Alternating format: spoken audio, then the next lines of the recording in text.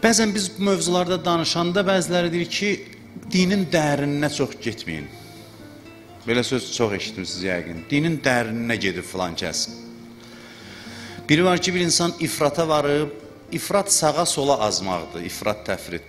Düz yolundasansa, onun dərinini nə qədər getsən daha yaxşıdır. Əslində biz dərininə gedib o adamlara deyirik ki, sağa sola azıblar, ifrata varıblar. İfratçılıq pis bir şeydir, amma orta həddə olanda inkişaf nə qədər yuxarı olsa bir o qədər yaxşıdır. Bugün bu mövzuda mən sırf dini müstəvidə yox, istəyirəm ki, bir qədər ümumbəşəri müstəvidə danışaq, universal mövzu olaraq dəyərləndirək bu mövzunu. Yəni, bu mövzuya insan şəxsiyyəti bucağından yanaşaq, insan şəxsiyyəti nöqteyi nəzərindən yanaşaq. Belə deyək ki, üstün şəxsiyyətə sahib olan insanların bəzi xüsusiyyətləri var. Üstün şəxsiyyətə sahib olan insanların. Biz də dinə bu səpkidən yanaşsaq yaxşıdır. Bəziləri belə zənn eləyir ki, dindar yəni bir sıra dəyərlərə bağlı insan, bir sıra ibadətlərə, ibadətləri yerinə yetirən insan və öz həyat tərzini başqalarına qəbul etdirmək istəyən insan. Halbuki din insana bəzi xüsusiyyətlər aşılamaq istəyir ki, o xüsusiyyətlərlə bağlı heç kəs e, belə deyək, müxalifət edə bilməz. Mübahisəyə səbəb olan bir xüsusiyyətlər deyil. Biz dini mövzuları ümumbəşəri müstəvidə təhlil etməliyik. Elə məsələlər haqda danışmalıyıq ki, harda bunu dinləsələr, harda dinləsələr, buna irad tutmağa bir söz tapmasınlar. Hamı üçün universal olsun. Və məncə din haqda danışan insanların əsas nöqsanı budur ki, istinad etdikləri məhdud bir auditoriyadır.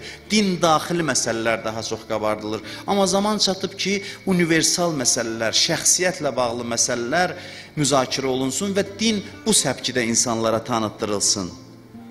Qul təalav ilə kəlimətin səva beynəna və beynəkum. Quran nə gözəl üslub bəyan eləyir, metod bəyan eləyir. Quranın bəyan elədiyi metoddur. Yəni danışanda hamı ilə, hamı ilə danışanda bu Quran ayəsi idi mən oxudum. Gəlin sizinlə bizim aramızda ortaq məsələlərdən danışaq. Görün nə gözəl e, metodologiya bəyan eləyir, yol bəyan eləyir. Gəl görək sən nəyi qəbul eləyirsən və mən də onu qəbul edirəm. Gəl bundan danışaq. Bu məzhəblər arası məsələlərdə də belədir. Ümumbəşəri məsələlərdə də belədir. Nəyi qəbul edirsən? Mən də onu qəbul edim.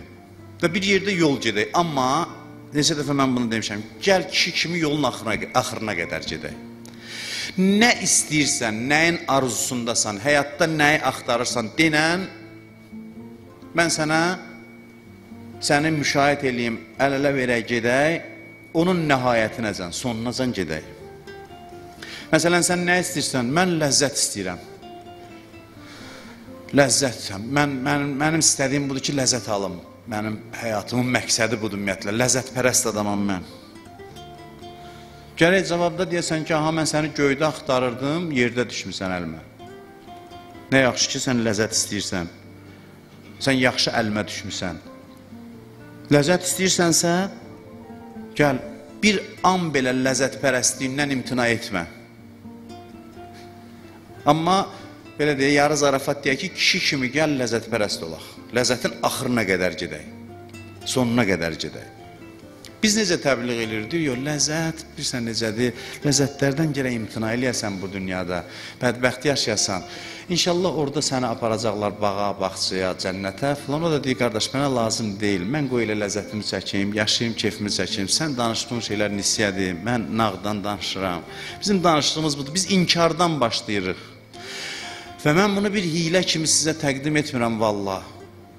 Mən dinin məntiqini sizə bəyan edirəm ki, bax sən nəyi qəbul edirsənsə, dinən narahat olma. Amma gəl, o ləzzət istəyirsənsə, bəli, mən iki əlli razıyam səndən.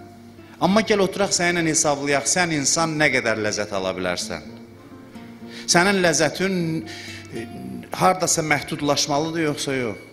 Gəl ləzzətin potensialını hesablayaq. O maksimum nə qədər ki sən vücudunda, ruhunda ləzzət almaq yeri var, nə qədər ləzzət tutumu var, o ləzzəti gəl maksimum yaşayaq. Harda elə bu dünyada.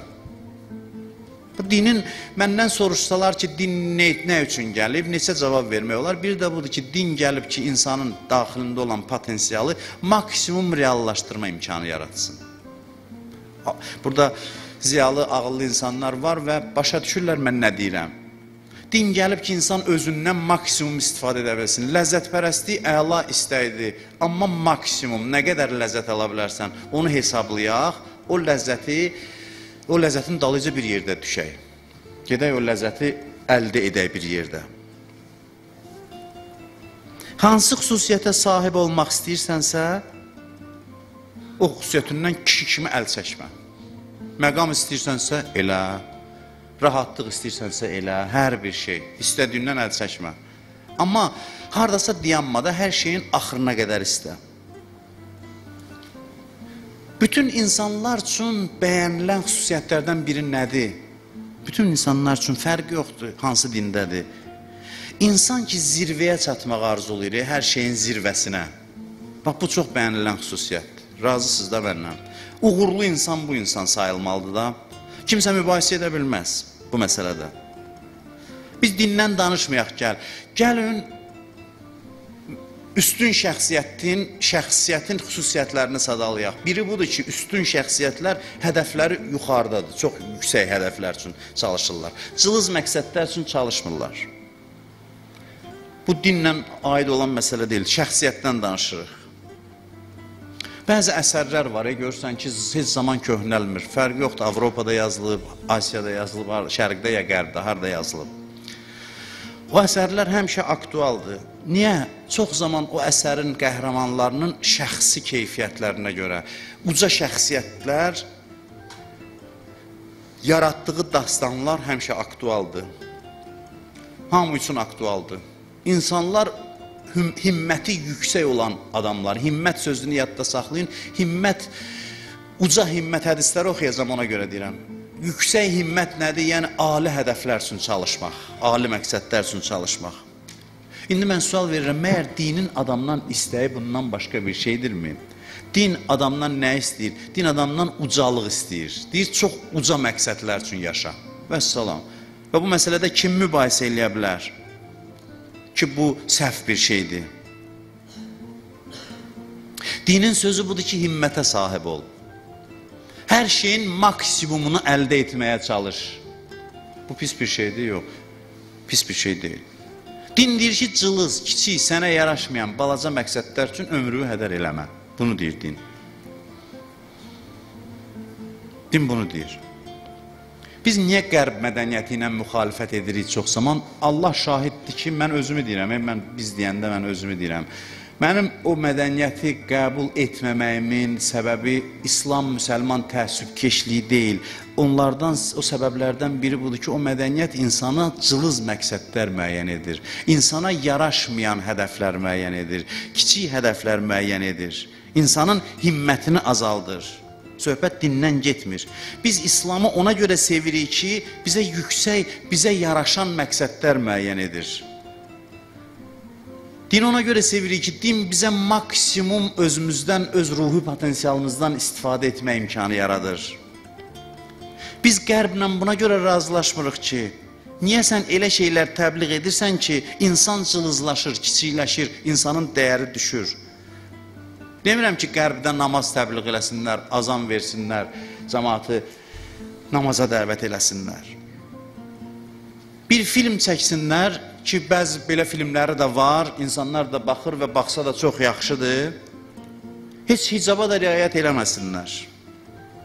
Heç bir dənə də ibadət səhnəsi göstərməsinlər. Amma uca hədəflərə səsləsinlər insanları. Uca məqsədlərə səsləsinlər. İndi sabah sözümdən elə çıxmasın, mən hicabsızlıq təbliğ edirəm. Xahiş edirəm, sözümün zahirindən nəticə çıxartmayın. O qərb dünyasıdır, o hicab başa düşmür. Şəriətimiz də bunu deyir ki, qeyri-müsəlman hicabsız gəzirsə, ona günah niyyəti olmadan baxmaq günah deyil. Adi gözlə baxmaq. Yəni, bunu məcburam, şəriət tərəfində deyim, çox çətindir indi danışmaq. Bəzi adamlar oturub ki, görüm nə səhv buraxacaq ki, sabah biabır eləyim onu. Məqsədi budur həyatda. Bu, bunun üçün yaşayır ümumiyyətlə.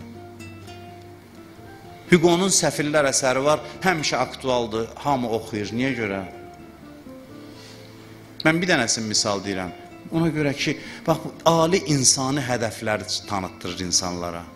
Namaz təbliğ eləmir ki. Oruc təbliğ eləmir ki. Hugo dindar idi? Xeyr. Namaz qılan idi? Xeyr. Dindarlıq bu baxımdan, bu baxımdan götürəndə meyyar deyil. Əgər hədəf müəyyən olunsa, yüksək hədəf, din özü özünə gələcək, özü özünə dindən uyğun olacaq insan.